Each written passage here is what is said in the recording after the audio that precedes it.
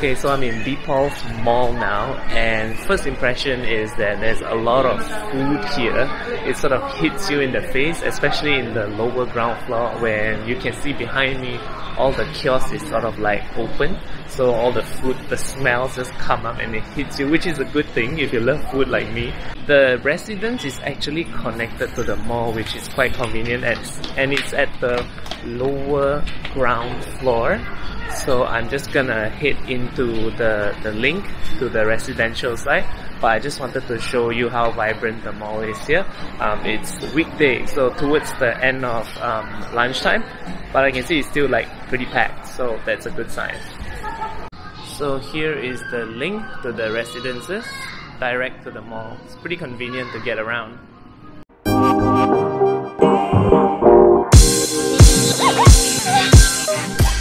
So currently we've got two units in this residential block. One is one bedroom, one is two bedrooms. And I'm inside the one bedroom unit now. Let me give you a flippy flippy to show you what's up, okay? So just bear with me. Uh huh.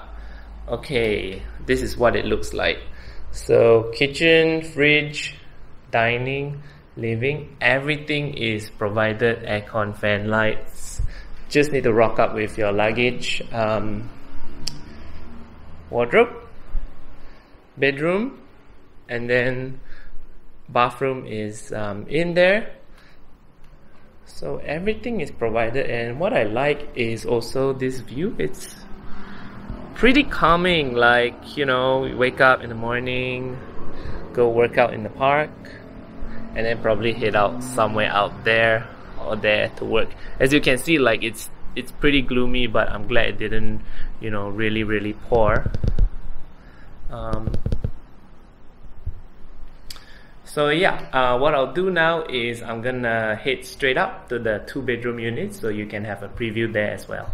If I've got a bone to pick with this place, right, I would say the experience entering into this building feels very industrial, very straightforward and boring. And by that I mean like look at this like long ass corridor. So I'm standing at, at the end, right? And I have to walk all the way there. It just feels a little bit creepy, especially um, if you are alone. So you do have to bear that in mind. But I would say like, you know, for a mid-range kind of condo and with so much amenities, you know, plus and minuses depending on what works for you. I think if you don't really mind this, then I think it's okay. But I do have to point out this. Even the car parks look better than this hallway here. So yeah.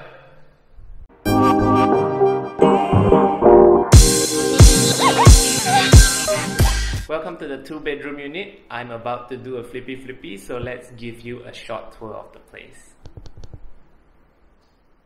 As you can see, very similar to the one bedroom unit, it is sort of a shoebox setting here. A bit of a funny like laundry placement area, but that's okay since space is a little bit tight. Um, this is the kitchen area, so everything is self-contained as you can see, like even down to the, the dishes, the pots and pans, and the cutlery. Everything's here. The fridge, there's another cabinet and your oven there as well. This is your um, dining area in the middle here. Um, in terms of like decor, it's like pretty basic. Like there's nothing fancy, but that's okay.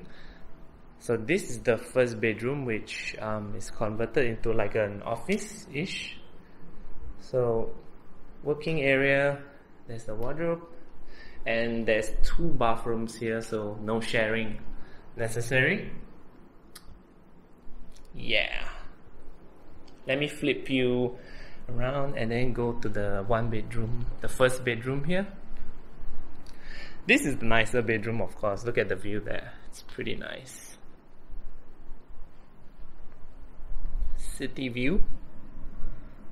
Okay. And then this is the bedroom. Now that you've had a little bit of a tour, uh, let's just bring this video to a close. And some of my closing thoughts are that number one, I feel that this place is great for, let's say, a young couple. If you live and work in Cyberjaya, it's really easy to get around.